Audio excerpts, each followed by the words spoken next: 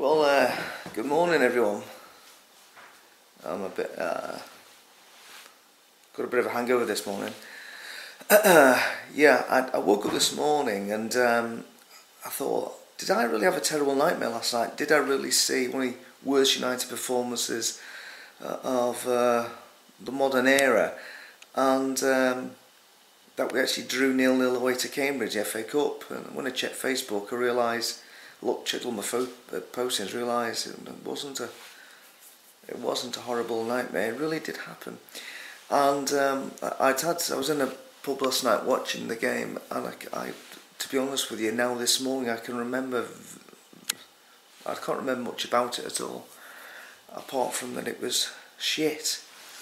Um, so I think now we're getting to the point now that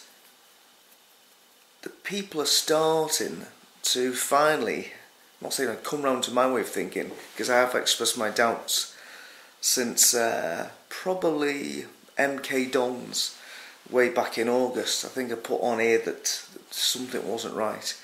And um, that was before he spent big money and, and got rid of what you know, very few people had said that, that, that you know the season before. I know I'd said it that there was quite a lot of players that shouldn't beat United because they weren't United class. And at least Van Hal went and got rid of them basically. That you know that loads of them he, he, he got rid of as we know because they weren't good enough and, and in reality that was I what I thought was Moyes' problem that he'd inherited a a, a poor squad, despite everybody saying, oh, we, we were champions, it was a poor squad. It's that everybody else around us were, was shit that season. And Van Hal, um, to me, Van's in United now. And um, I was going to say Van Nistelrooy for a second there. And Van Persie uh, was playing uh, in, in the form of his career, and he, he really won us uh, the, the season that, that we were champions because of his goals. Um, but defensively, we were still poor, and it just continued on through David Moyes when, of course, uh, Van Persie is got injured and his form dropped. Um, so yeah, that's what I thought at the time. I thought Moyes inherited a poor squad. I felt sorry for him in that respect, uh, and he never had the uh, the war chest. He did buy two players, as we as we know. Um, who I, I, I don't know. The, the, the performances out, out of both of them this season haven't been very uh, overwhelming and they certainly weren't uh, last season either especially with Fellaini. But anyway we're on to the new manager and uh, the, the problem with him because of because he has been a winner in other clubs is is like it's you know we, it was it was it was okay for everybody to criticise Moyes last season because he wasn't a winner So it was so easy to have a go at the manager, all oh, this blah, blah, blah, blah, blah. Moisey, Moisey, Moisey. Eh, Moisey. It was so easy to flip in, crack, have a crack at him all the time.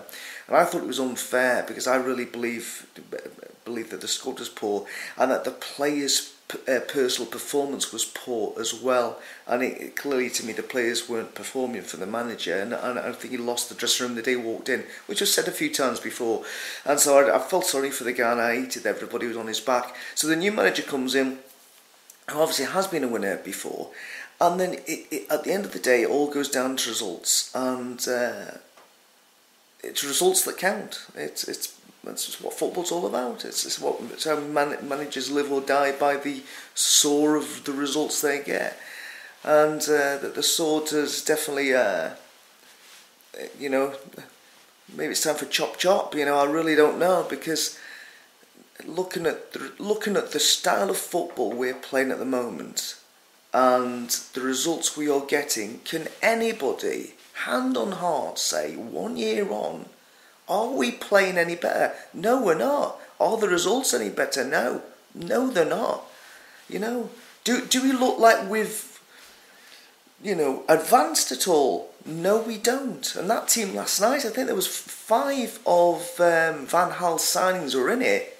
I think five were in it. So you can't just say, oh, well, he's trying to build a team. Well, he, you know, he's got the remnants of, of, of our squad. He's got rid of the ones he didn't want. He spent 150 million and still we're not we're not advancing. Still, the football is awful to watch, really poor. You know, United's reputation was built on free-flowing attacking football, and have, have we had that? Well, you know, obviously we didn't get it last season, but have we got it this season? No. And the, the problem, the problem being is because people have had a go at me on YouTube and Facebook because I have the, the audacity to say, look, it doesn't look like this guy knows what he's doing. And people says, how can you say that? You know, he's a winner. He's a winner. Hold on a second. Sorry, go back in his history. He hasn't always been a winner. He hasn't. Yes, he has won things, but he's gone to some clubs and, and I think the national team the first time he, he, he took charge. And he hasn't always been a winner. And you know, quite often he's fallen out with players, he's fallen out with owners, and the players haven't understood his philosophy, and it ain't worked. So don't everybody say he is a winner. He isn't always a winner. He's been a loser. He's a winner and he's a loser. And so now with United, at the moment, would you say he's a winner? No, I wouldn't. Is he a loser? Mm.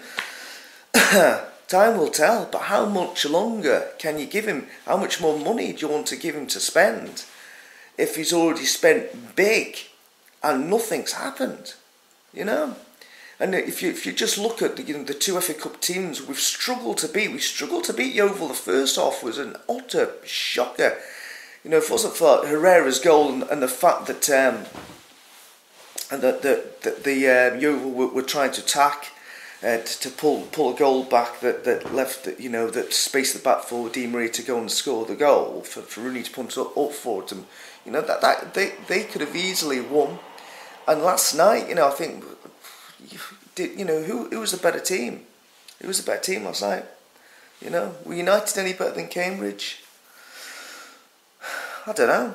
I don't think so. I don't remember much about the game. I do remember a Cambridge header being cleared on, on the line by uh, a Cambridge player, then tried to header in and it didn't work out for him. And and this the, the thing about the goalie as well. Our goalie at the moment, it's it's a bad day when the goalie's the man of the match, and he's he's been the man of the match several times this season. And people have said, "Oh well, don't know what you're moaning about. We're in fourth. We're only in fourth by default. That Everton and Liverpool." you know, have been terrible this season. All they've got to do is like stop playing not not bad, and we're going to struggle because we're not playing well at all. We're only in fourth by default, but all the teams are playing shit. And the fact that our goalie, our goalie has, has time and again saved our neck by some outstanding saves. If if our goalie buggers off to to Spain, we are buggered because he is he's saved our skin. We wouldn't be fourth if it wasn't for him. It, it's it's unquestionably without a doubt that's true. And if you look at the money that's been spent, if you look like for, for, for instance and look at like the money we spent on Di Maria, if you take that money and then take look take the all the money that's ever been spent in the history of Yeovil and Cambridge, that's the club building the club, building the actual stadiums, all the players' wages that they've ever paid in the history of the club then the two clubs, put the two clubs together, and you still probably wouldn't get the money that we're paying, that we paid for Di Maria. And, and yet, what have we seen from him so far? Oh dear. Look at the money some of the players that are on 200,000 Rocco's on that I think a week. My God, are you know are we getting the performances from these players for the wages they're getting paid at the moment? Fuck me. No, we're not. So you have to wonder what is going on. What is what is Van Gaal actually writing down in his notebook? Why doesn't he actually just get out and stand on the touchline? And obviously things can't be working. What What's he writing on that thing? Things aren't working again. Why didn't he just stand on the line and be one of those managers who flipping has a go at somebody and flipping says, look, you know, I don't know.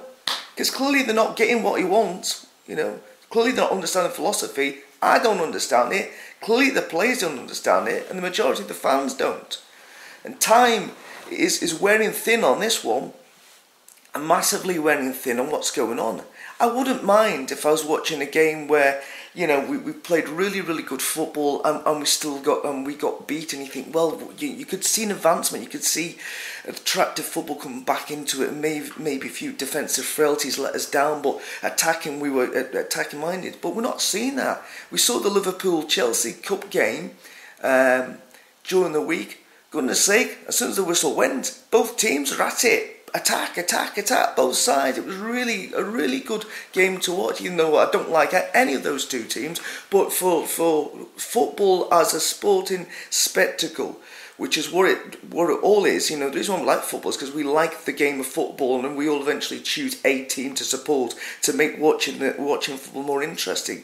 As a sporting spectacle, at the moment, watching United is is dull as dishwater. It's boring. It's just awful. It's like chess with a round ball. It's it's bollocks. And then you look to like Chelsea and Liverpool playing, and for the for the moment they whistle went both get going for it. It was a great game really good game. I was thinking, oh, Van Gaal's watched this, thinking, yeah, I, I remember football this way, this sort of attacking, free flowing stuff. Pretty good. For the moment whistle, just attack, just go for it. Don't flip in like chessboard, back, back, back, sideways, back, back, sideways, thread it up, bring it back. Oh my god. Oh dear. Anyway, I don't know what the answer is. I really, really don't know the answer is. I, does the guy know what he's doing? Does Giggs even talk to him? Does he actually share his philosophy with Giggs? Does anybody understand the philosophy? What is going on in training when those players turn up on the pitch? It's like, I've said this so many times this season, They've never met each other before, so they're not expecting different people to be in certain positions. Some of the passing last night was awful. Some of the entrapping of the ball flipping, balls flipping, people put the foot out and bobbling off. Some of the crossing, oh, flipping it. I'm. I'm fed up going on about it because it's just getting boring now. So uh, yeah, so luckily that game Cambridge was a Friday night because otherwise this Sunday I would have been travelling from Scotland to Cambridge, paying out you know a lot of money. Ever knows at least what was it, 50 quid for a ticket and about 60 quid, uh, 50 quid on the bus and petrol flipping 30 quid. I don't know. It would have been money and I would have been massively gutted to have spent that money and to have seen a performance like that. Like uh, I've been gutted, like we went down to just uh, QPR the other week and I saw that performance, even though we won 2-0, it was, it was still rubbish. It was still rubbish. And, it, you know, at the end of the day, the, the, the manager Uh, has got to accept some responsibility or maybe all responsibility. I don't know. But I think the days of, of people defending him because of his prior record, that is totally wearing thin now. So anybody wants to come and says, oh, he's a winner. Oh, it'll be all right next season. Why isn't it not all right now? Why aren't we seeing some sort of advancement now? Why aren't we seeing the fruits of spending 150 million in all the training's philosophy? Why aren't we seeing encouraging signs? How many games this season have we watched that we've walked out and said, well, we can we can see where he's going on this one. We can see what he's trying to do. How many games? Three? I'd say maybe only two. Two games that we've played well. We've played well in. It's rubbish. Anyhow, let's rant over. Bye bye.